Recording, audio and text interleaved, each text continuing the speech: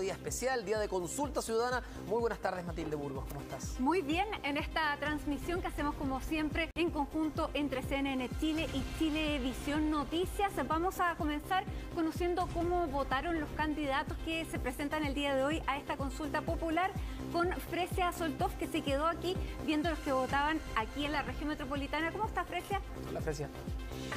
Tal cual, Mati. ¿Cómo están ambos ahí en estudio? Nosotros acá con harta gente en el Liceo eh, Confederación Suiza para que para vernos, hacernos una idea eh, de la gente que ha llegado, fíjense, en las últimas dos horas aproximadamente, harto movimiento en este liceo donde votó, como lo decían ustedes, uno eh, de los tres candidatos, Carlos Maldonado, también Paula Narváez, eh, lo hizo en la región metropolitana. Y vamos a ir precisamente con esas dos votaciones que fueron durante esta mañana. Y Paula Narváez fue en la comuna de Las Condes, ella llegó al Liceo Simón Bolívar en y ahí llegó acompañada de su familia, de su marido, de sus dos hijas mellizas, en que hacía alusión en la ex ministra a eh, que no había que eh, llorar eh, sobre la leche derramada. Esto en lo que había pasado en mayo pasado, cuando ya no pudieron ir a primarias, ella señalaba que habría sido muy importante ir a, esas primarias del mes pasado, pero ya en,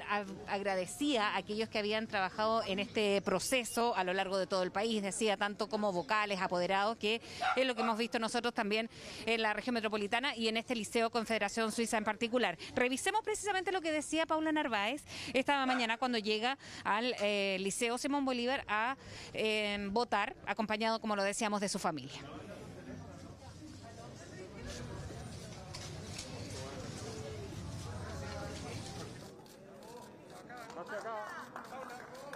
Obviamente a nosotros nos habría encantado haber estado en la primaria legal del día 18 de julio. Eso no fue posible. Pero tampoco tiene sentido que sigamos llorando sobre la leche derramada. Ya logramos eh, sobreponernos a ese momento, creamos la posibilidad y la fuerza para conseguir esta consulta ciudadana y creo que hoy día nos tenemos que concentrar nuestras energías en que esto se lleve adelante de la mejor forma posible. Ahora.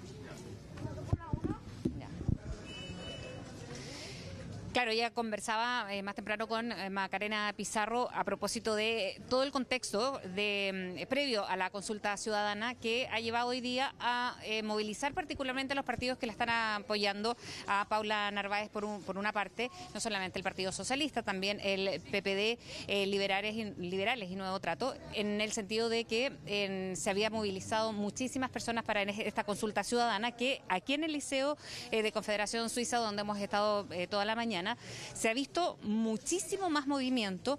En hartas personas han llegado a votar, incluso se han registrado y se registran ahora también algo eh, de, filas en las tres eh, mesas que se han dispuesto, em, con cerca de 3.000 electores que están previstos en el padrón en el Liceo Confederación Suiza. Carlos Maldonado llegó hasta acá cerca de las 10 de la mañana y em, él haciendo un pronóstico, o por lo menos esperando, de que fuese, decía, ojalá un millón de personas las que salieran a votar en estas elecciones de unidad constituyente.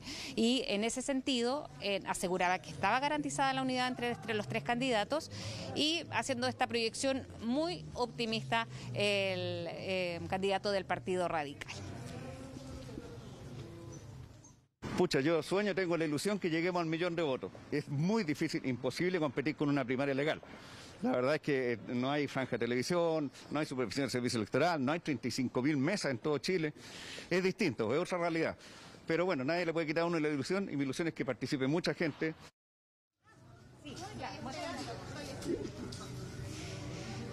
Bien, ahí estaba Carlos Maldonado del Partido Radical con en una mm, visión bien optimista, o decía por lo menos lo que él podría esperar, pero de todas maneras harto movimiento. Vino acompañado de cuatro de sus hijas, además de su señora también, aquí en el Liceo de Confederación Suiza, que em, Matilde y Toti los invito a, revisar algunas de las filas que se, han generado. Y sobre todo en las últimas dos horas creo que se mantiene así con hartas personas que han llegado aquí a, a este Liceo de Confederación Suiza en el centro de Santiago.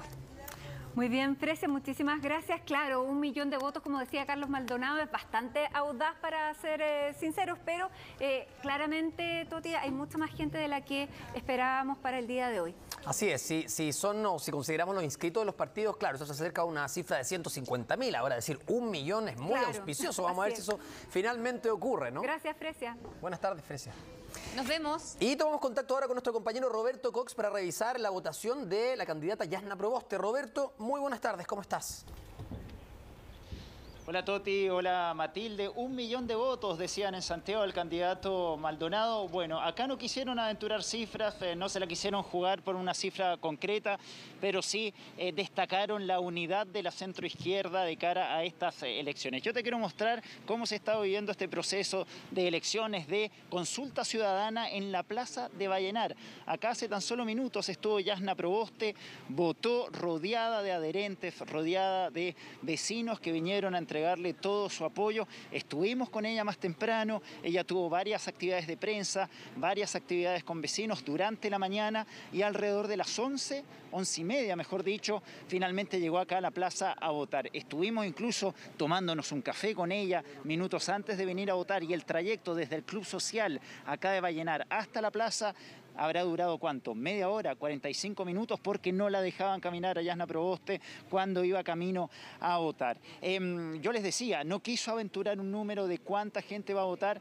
Acá, por ejemplo, en Vallenar, eh, si en las últimas elecciones municipales votaron 15.000 personas, em, se cree que al menos van a votar mil personas el día de hoy y viendo la concurrencia que ha habido hasta este momento, eh, creemos que incluso se podría superar esa cifra, porque nos decían, en Vallenar el Partido Socialista tiene cerca de 550 militantes, el Partido Demócrata Cristiano tiene alrededor de 400 militantes ahí, sumando y restando ya tenemos mil personas, así que esperan al menos superar esos mil votos el día de hoy. Y desde que se abrieron las mesas a las 9 en punto no ha parado de llegar gente. Ahora un dato a destacar, la juventud no se ha hecho presente en este lugar, Mucha, muchos vecinos de Vallenar de la tercera edad sí han acudido hasta este lugar y no ha parado de llegar gente, siempre ha habido filas en cada una de estas mesas, así que nos imaginamos que de aquí al final de la jornada podríamos estar superando ampliamente estos mil votos que nos señalaban algunos vecinos eh, de esta ciudad. Los invito a escuchar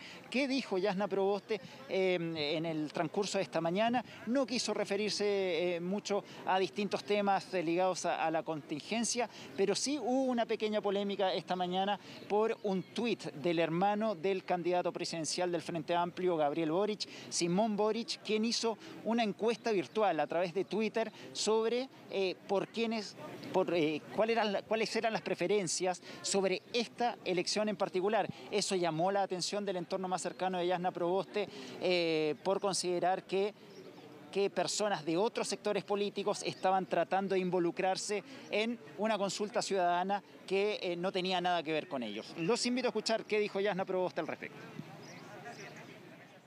Nosotros más allá de- de- del ánimo de, de volver sobre ese punto, de polemizar, lo que queremos es motivar, invitar a, la- a todos quienes se sienten parte de unidad constituyente, al mundo independiente, a participar de esta consulta ciudadana. Eh, llama la atención, ¿no? Que a pocas horas de este proceso se, de- de- tan, tan cercano al, al candidato se hagan encuestas respecto de candidatos y candidatas de unidad constituyente. A nosotros no se nos hubiese pasado por la mente a pocas horas hacer encuestas respecto de lo que pasaba en su, en su pacto. Pero bueno, mire, tratemos de mirarlo en el interés que ellos tienen y el interés que nosotros tenemos en la consulta ciudadana de unidad constituyente.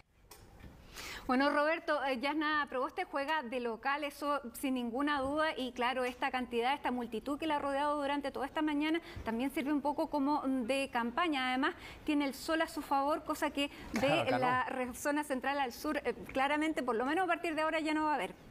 De hecho, ya cayeron algunas gotas acá. Sí, acá mira, se anuncia una máxima de 27 grados, el cielo está completamente despejado, ustedes pueden ver que estamos de manga corta, hay un calorcito muy muy agradable a, a esta hora, cuando ya creemos que pronto el flujo de personas va a disminuir porque es hora de almuerzo, la gente va a ir a sus casas a almorzar y tal vez en horas de la tarde llegue un poquito más de gente. Han habido problemas también, han habido problemas también, por ejemplo, personas que han acudido a votar pero no están en este padrón eh, que fue eh, especialmente confeccionado para esta consulta ciudadana. Ellos, eh, muchos de ellos decían, nosotros votamos en las primarias, por ejemplo, en las primarias presidenciales de hace un par de meses atrás, pero no estamos en este padrón. ¿Qué fue lo que pasó? Bueno, primero escuchemos a ver qué nos dijeron.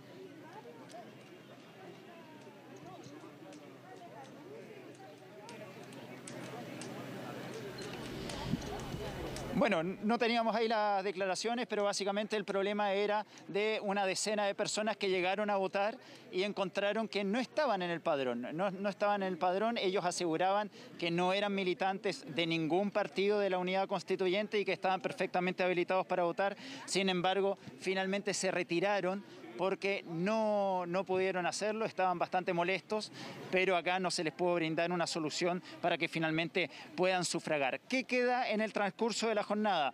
Bueno, a las ocho y media, si es que Yasna Probosta resulta triunfadora de esta consulta ciudadana, se espera que eh, que llegue hasta la Plaza de Vallenar para eh, dar un discurso a sus adherentes, a los vecinos, porque bien decías Matilde, acá todo el mundo espera que arrase Yasna Proboste en su ciudad natal, se espera que llegue a las ocho y media, si es que gana. Si no gana, ahí la situación va a ser distinta, se va a, se va a dirigir a los medios de prensa que hay acá en Vallenar, muchos que han llegado desde Santiago, también se espera que haya una reunión virtual vía Zoom con el resto de los candidatos para poder poder felicitar a quien resulte ganador, pero hasta el momento existe incertidumbre sobre qué pasaría si pierde esta elección. Lo único cierto es que si gana a las ocho y media, Matilde Totti, ella va a estar acá en la plaza dirigiéndose a sus adherentes que le habrán dado todo el apoyo en esta consulta ciudadana. Así es, como tú dices, Roberto, bueno... Eh favorece el calor, ¿no? Evidentemente es un aliciente más para ir a votar, si es que aquí en la región metropolitana se largara a llover, es más complejo, ah, hemos visto que en algunos locales, por ejemplo, en el de la comuna de Las Condes, que hay un local habilitado, habían cuadras de fila y por lo mismo, claro, la espera sin paraguas, con lluvia, podría ser más complejo. Ahora, esto de que ella haya elegido Vallenar para ir a votar, como dice Roberto, claro, juega de local, está muy apoyada, probablemente le vaya muy bien ahí, pero se queda, ¿no? Vuelve a Santiago y eso también es un hito importante sí. porque en el caso de resultar perdedora, no va a tener que esta noche sacarse la foto con él o la candidata triunfadora y eso, mm, claro, para cualquier persona eh, puede ser una estrategia, un alivio en el caso de eh, no ganar, porque ella hasta muy pocas semanas atrás corría con ventaja. Hoy toda la elección está abierta, eh, Roberto. Y en el caso de ser ganadora, claro, va a celebrar ahí eh, tremenda, con tremenda cantidad de personas. Y mañana la recibirían acá, tengo entendido, en Alameda, ¿no? Exactamente, Eso de, pero claro. la foto, si pierden, no la va a tener hoy día. Claro, es verdad. Que también puede ser una buena estrategia. A ningún candidato derrotado le gusta, por más que eh, se haga con, como una señal de unión, le gusta ir a saludar al candidato que gana, digamos. Uh -huh. Oye, Roberto, y bueno, votó con su familia. Cuéntanos un poco más del ambiente eh, que se está dando ahí en Vallenar, porque claro, veíamos que toda la gente la saludaba, la conocen desde chica. Le cantaron en la mañana. ¿Ah, sí? Sí, le cantaron, con charango y todo. ¿Cómo fue, Roberto, le, le toda esta jornada junto a sí. Yana ahí? Sí, con charango y todo, decías Tosti, porque claro, era un homenaje sobre todo por su origen diaguita. Un eh, cantautor acá de la zona, eh, Pedro, eh, Pedro Plaza, llegó hasta el lugar para dedicarle una letra una canción muy bonita que le había dedicado en honor a su origen diaguita.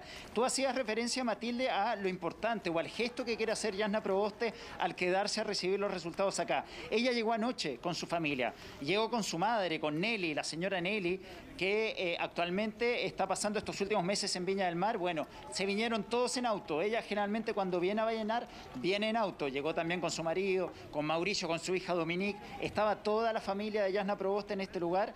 Llegaron anoche y después de haber votado, ellos no se vuelven a Santiago, como bien señalaban ahí en el estudio se van a quedar acá a recibir los resultados acá. Si ganan, lo van a festejar acá como una señal, una señal, un gesto hacia todo el proceso de descentralización que pretende llevar a cabo Yasna Proboste si es elegida presidente. Ese es el gesto que quiere dar ella celebrando un eventual triunfo desde su ciudad natal. Vamos a ver finalmente si ella resulta vencedora a las ocho y media tendría que estar en esta plaza para eh, saludar a los vecinos, a los adherentes y junto a toda la familia también. La abuelita de Yasna Proboste, Abigail, de 94 años, quien también estuvo en este lugar votando en esta mesa 10.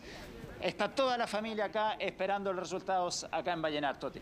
Bueno, nos vamos a quedar con esta imagen, un poco de envidia por ese sol radiante que se ve eh, precisamente en la plaza Ambrosio Higgins, la plaza de armas ahí en, en Vallenar, en Atacama. Muchas gracias, Roberto. Volvemos en cualquier minuto. Buenas tardes.